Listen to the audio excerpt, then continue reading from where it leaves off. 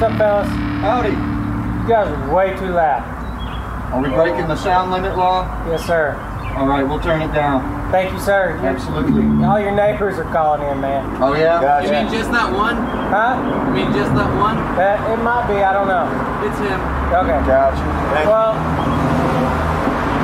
either way, it's still it is too loud. But are we actually breaking any real laws? I mean, define real laws. Technically, yes. It's a no, there is a noise ordinance for noise decibels. I thought that was after. After 10 o'clock? No. There's still there's still an ordinance. It can't be like over 50 decibels within 50 feet or something. Gotcha. All right. Yes, sir. Thank you, sir. Basically, if you're causing a disturbance, We're not though.